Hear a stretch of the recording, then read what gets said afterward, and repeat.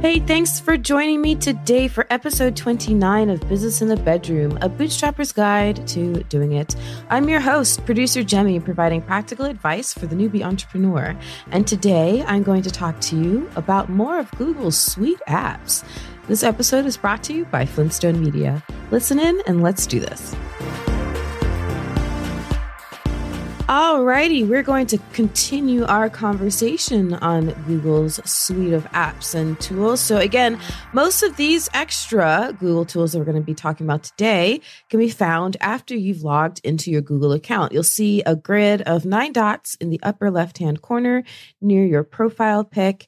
And if you click on that, you'll see a pop up menu with these apps. Now, everything that I touched on in episode 27, which was so we kind of took a detour with episode 28, right? But we're back to the Google Suite thing. So on episode 27, it's not the last episode, but episode 27 was the last time we talked about Google's Suite apps. Well, anyways, everything that I touched on in that episode as to why I love working in Google's tools applies to these tools we're going to cover today too.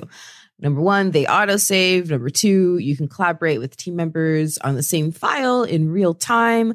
Number three, you can access your files anywhere. You can log into Google. It's like a magic. and I also love it because they don't take up precious space on your local drive. So, so many reasons beyond that. But yeah, I love this stuff. So today I want to share a few more of Google's tools because I think they're also super useful.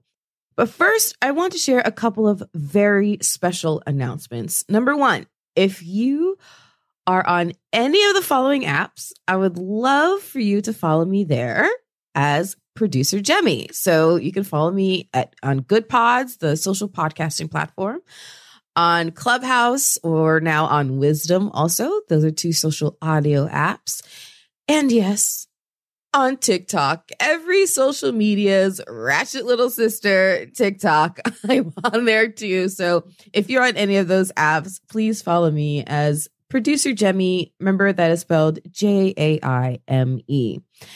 And the second announcement is that I am now co hosting the Podfest podcast. So if you missed the other announcements, yes, Podfest Multimedia Expo is the largest independent conference for podcasters in the United States, and they've never had a podcast before. So I am super honored that they have asked Glenn the Geek from HRN and I to co host the Podfest podcast. So, on that podcast, if you're interested in podcasting, we share lots of tips from our community on on podcasting. So check it out on any of your favorite podcast players. My personal favorite is Goodpods. And number 3, I am also launching my very first podcast course under Flintstone Media. Woo! So as some of you may know, I was the first ever podcast instructor for the Connecticut School of Broadcasting. And now, of course, I'm co hosting the Podfest podcast and giving out tips regularly. And of course, I've also been a producer for many, many, many, many clients and helped launch shows, help grow shows, et cetera, et cetera. So I'm taking all of that knowledge and now putting it together as podcast courses for you. So if you're interested in podcasting, watch for those announcements coming down the way. But links to everything will be included in the show notes. All right, so let's get on with it. Well, my new favorite tool is what I want to start with because I love this thing. I'm giddy. I'm giddy with how much I love this next tool. Okay, so it's simply called Keep if anyone is a fan of lists, it's me. I mean, my lists spawn lists. Okay. I have lists for my lists. Like, this is all true. I have a master to do list that's on my phone. But because I can get great ideas at any time of the day, and I don't always want to pick up my phone because that's also known as the master of distraction, I also have a small dry erase board that I jot things down on all the time. And then a layer even above that. I have a post it note sized paper block, non sticky, as that is my personal preference. Every girl has the right to have a personal preference.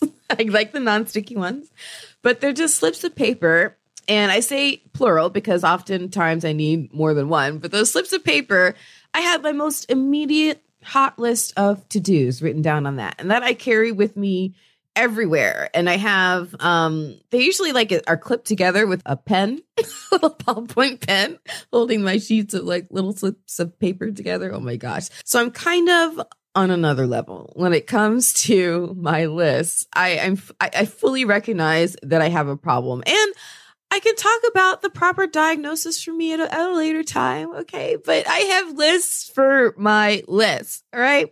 So, one of my new favorite tools that I discovered in the Google Suite and that has become my new best friend is Keep. It's basically sticky notes on your desktop, or more accurately, in your browser. And I really like it because you can have them be different colors, just like real sticky notes. You can kind of organize them thematically. So all the ones about, you know, anything to do with business in the bedroom, I might have one color, or anything about Florida Podcast Network, I might have another color. You, you see the point. Uh, another reason I like them is you can add, you, like you can title them. Well, that's pretty cool. And you can also have hot links right within the notes. So super easy. And you can also have a list in it that you can check off like a like a real to-do list. Like ugh, it is so satisfying having these things on my browser. I can't even begin to tell you. Like it's great if I'm in the middle of working on something and a great idea because I am a creative, I'm an entrepreneur, I am a shiny objects like heaven. Okay. I'm shiny objects all the time. So if I'm working on something and a great idea related to something completely unrelated to what I'm working on pops up in my head, then I can just click on my tab that I, no pun intended, keep open on my browser for keep. And I can just click open a new note and then just type down my thought and then move on with my life. It's magical. I mean, there's only so much that my brain cell real estate can have actively going on at once. All right. So to be able to like immediately release something and know that it's saved, ah, it's just so nice. But let me, let me make it honest. Okay. Let me, let me like fully lean back on this therapy couch for a second. And let me tell you the real reason that I love keep. And this goes to another real problem that I suffer from. So, aside from my propensity for having lists spawn lists and growing lists, and my lists having lists of lists, I also have a really big problem with having a million browser tabs open at once. If anyone has ever had the pleasure of having me screen share during like a Zoom meeting or a Skype call or whatever has seen the monstrosity that can be and usually is my browser. Like it's ridiculous. In fact, the only time I don't have a gajillion tabs open pretty much is when I'm recording the show because I don't want it to interfere with my sound quality this is true. But usually I have dozens of tabs open. Like it's been crazy. And when someone is in a meeting with me and they do see like a dozen tabs open, what they don't know, my little dirty secret, is that that's just the one window that they can see. There are probably like two or three other browser windows minimized that are just as bad. like just as bad. Okay. It has been a real problem. All right. But the first thing they say you have to do when you have a problem is to admit it. Right? Right? So that's that's what I'm that's what I'm doing here in this safe space on my therapy couch with you guys. So yes, keep has allowed me to clean up my ridiculous number of open tabs because I can, instead of saving something open and going to it later, instead, I just have a note on Keep and I just throw the URL from the browser and that's it. I just copy it, paste it into my Keep tab note. and then, and then get this. It's so satisfying.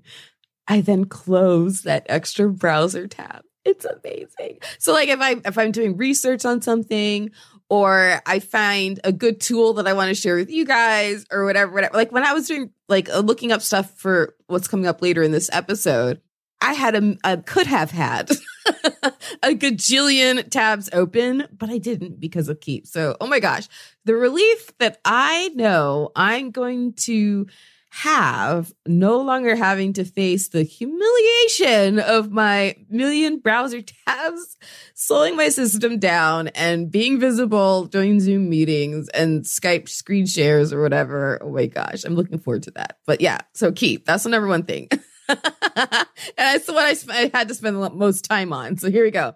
Number two, Forms. So Google Forms is fantastic. And be honest with you, it's probably something that you've interacted with in some way, shape, or form somehow from something that someone has sent you or a landing page on a website or whatever. Like there can be a lot of reasons why you might run into a form, but there also might be a lot of reasons why you might want to create your own form. So it could be a sign up form for your newsletter, a survey or a questionnaire that you send out.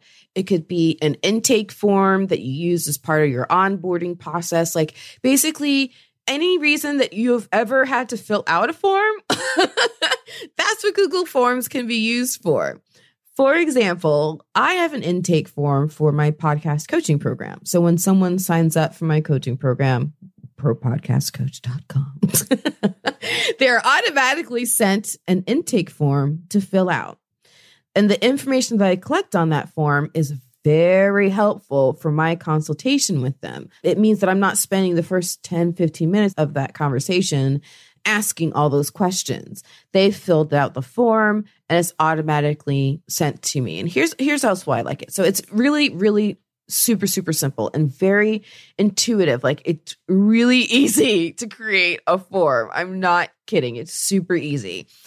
And you can break a long form into pages. So let's say you, I remember back in the day, I had this one project for a website client. So these were eviction lawyers, and basically, people visiting the, the website could fill out this form about how horrible this tenant was and all the reasons why they needed to evict them and all the pertinent information that they needed and send it to them. So then the law firm would get this form and have a whole ton of great information for when they had this call with this potential client. So for me, I've used it the similarly with my coaching program, but it's like for that one, that was a really, really, really, really long form. I think altogether was four pages and we had to break it out. And so I was able to do it using gravity forms. So this is an alternative for that. And it's just really simple and easy to work with. So that's that's why I really like it. So it's kind of winning me over. You know, it may be replacing some of my other things too. It's also a less overwhelming user experience than I've seen other form kind of programs use. Also, it's pretty customizable. It also logs all the responses for like future safekeeping. I can go back however long I want and see past responses for my coaching program intake form. It's pretty cool. And once you create your form, you can send it out as a link or you can put it out on a web page or whatever. Like when I say that it's unbelievably easy, it truly is. Like I like me some Google Forms. Okay. In fact, I'd be willing to bet that you've had to fill out plenty of Google Forms over the course of the last several years, and you may not have even known that it was a Google form. It's that it's become that popular to use. The next tool I want to highlight real quick is the drawing tool. Now, it's not accessible from that little grid of dots in the upper left, at least not that I've ever seen, but it's definitely worth finding and easy to find. It's called Drawings. And Drawings is a graphics tool that you can use in place of, let's say, learning Photoshop or even using Canva, which, as you've heard, I, I love me some Canva. Now, I will say that Drawings is nowhere near as robust as either of those two programs. It's kind of like a tricycle compared to two souped up Harleys, okay? But if you want a quick infographic on a PDF or something like that, it's fantastic. And because it's part of the Google family, you can pull images in that you happen to drive directly into the drawing tool without having to first download it locally and take up space on your on your computer. So it's really convenient. And so to access the drawing tool, you have to be in Google Drive first, as far as I can tell. So when you click on the grid in in the upper right hand corner, choose Google Drive which has an icon that looks kind of like a multicolored triangle. Then once you're in Google Drive, direct your attention to the left part of your screen. and you'll see a button labeled new. And if you click on that, you'll find the three main tools that I spoke about on episode 27 docs, sheets, and slides listed, plus uh, the other major player I just talked about, forms. And then you'll also see a little line that says more. And if you hover over that, that's where you'll see the drawing tool option pop up and it's it's just really super convenient. For a long time and still for a few shows, for a long time I was using that exclusively for creating episode art. So just one little I know this I keep dipping into podcasting. I told y'all this, this show is a general business show, but a lot of my frames of references are going to be from what I know, and that is building a, a, business around podcasting. Sorry, not sorry. Okay, so those are the three apps I wanted to take like a deep dive into. So we talked about Keep, we talked about Forms, and we talked about drawing. So these next mentions are going to go a little quicker, but they're worth mentioning too. So Sites, now Sites is an interesting tool. I'm honestly not sure if anybody uses it for what it's actually intended for. Now, it's supposed to be a website building tool. And I suppose technically it is. but there are much better website builders out there, like much, much, much, much, much better. But that's another conversation for another episode. But what I use Google Sites for is as a production space for my podcast and my podcast clients. In fact, I was literally typing into sites to prep for this episode. It's where I keep all my production notes for all of my episodes across all the shows that I produce. Essentially, how it works in short is that it's a private web space. So the only people who can access it are those that you explicitly grant access to. So in my case, my client, whomever they ask for, and then my team. So from a production perspective, it's great because my clients, my team can all see the same production notes in the same place. So if there's a scenario within your business, within your business processes, within how you work with your clients, where you think that might be something that would be useful, it could be worth exploring. And because it's a Google product, it's collaborative in real time and it also auto saves and, and all the other things. So it's great for what I use it for, but I don't think I'd ever use it for what it was intended to be used for as a, a, website builder, but maybe you could also find your own creative use for it. The next one is Calendar. Now, it goes without saying that a lot of people use Google Calendar to get meetings and manage their time and stuff. So it's pretty simple. It's pretty much just a lot like other calendar programs. Not a whole lot to say here.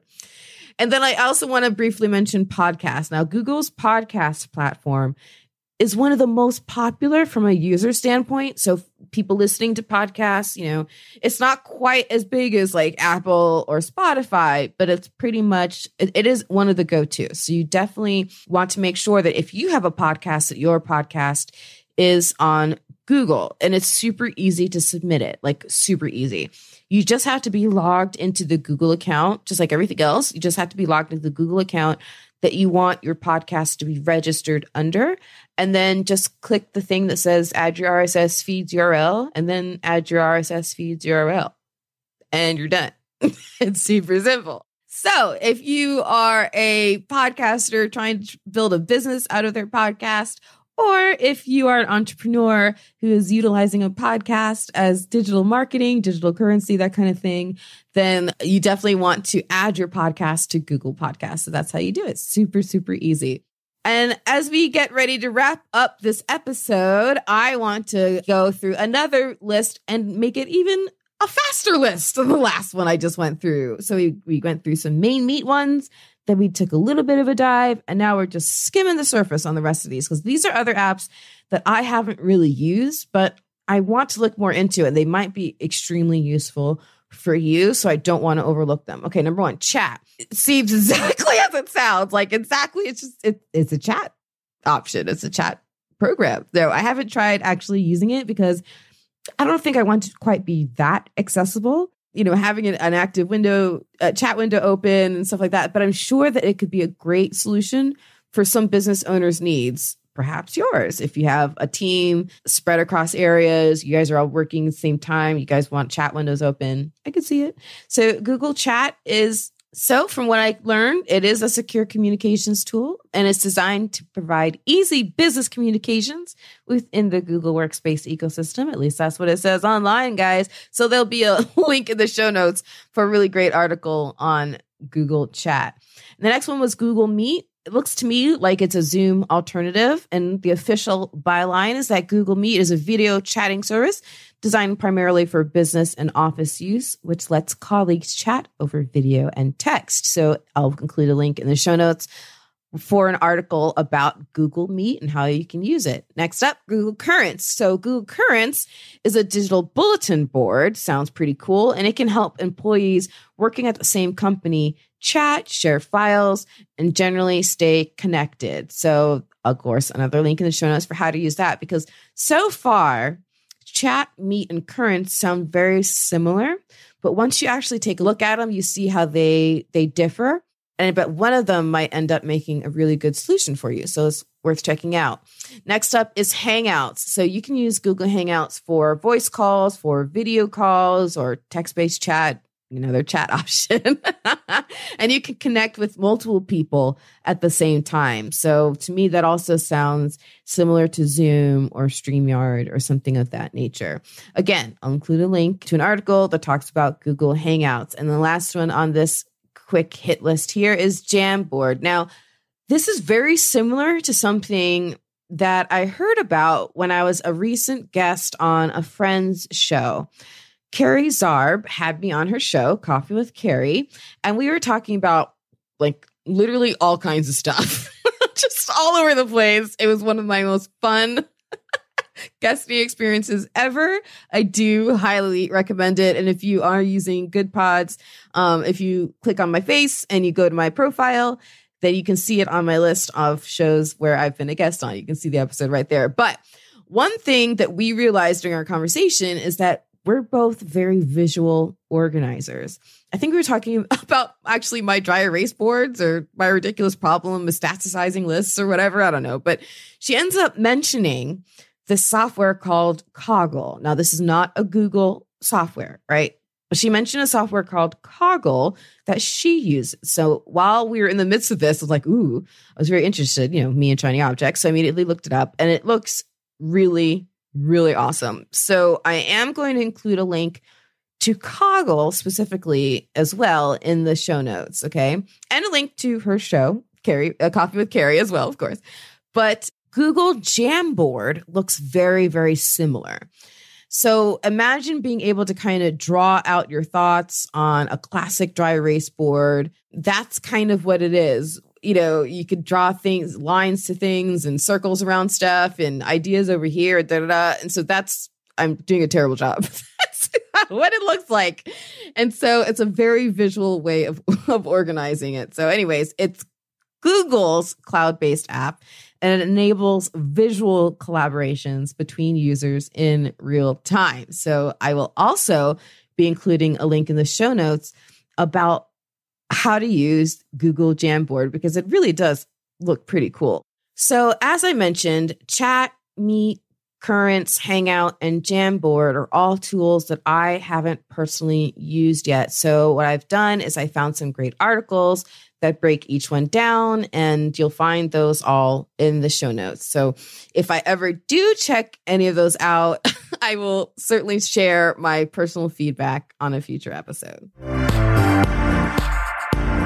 Thanks for tuning into the podcast today. I'm assuming you're listening to this because you're either running a business in your bedroom or you're thinking about it. So, I and your fellow listeners want you to be part of our conversation. So, pop into Clubhouse. We support each other's dreams and goals, and I answer questions on the regular. And we're never short of being super blessed with the connections that people make in those rooms, needing each other for like just the right thing professionally. It's pretty awesome. So look for the Dreamers Become Doers Club on Clubhouse. And as I mentioned, if you are on any of the following apps, Clubhouse being one of them, but also Goodpods, Wisdom, and also TikTok, I would love for you to follow me there as producer Jemmy, spelled J A I M E. I would also really be flattered if you would check out my other show, my new show, the Podfest podcast, available on your favorite podcast player. Mine, of course, is Goodpods. And I'm also launching my very first podcast course under the Flintstone Media brand. Yay! The crowd goes wild. watch for details. Watch for details. Watch for details. And be sure to, last mention here, be sure to also now find the Dreamers Become Doers group on the Goodpods app too. Basically, follow me on Goodpods, follow me on Clubhouse, follow me on Wisdom, follow me on TikTok, listen to the Podfest podcast, and we'll be good to go.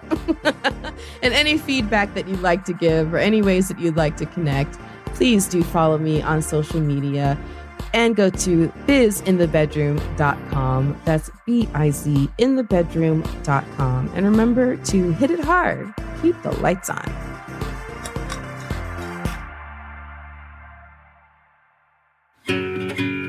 Flintstone Media has been the digital messaging bedrock of several brands and businesses, serving as a highly resourceful podcast production house and consultancy firm for over six years. Work with a leader in the industry and add a new podcast to your brand's content offerings. From show development and setup through recording and distribution, Jaime will lend her experience launching dozens of podcasts and producing over a thousand episodes, making creating your show a simple and easy turnkey process for you. Visit flintstonemedia.com for podcast samples. That's flintstonemedia.com.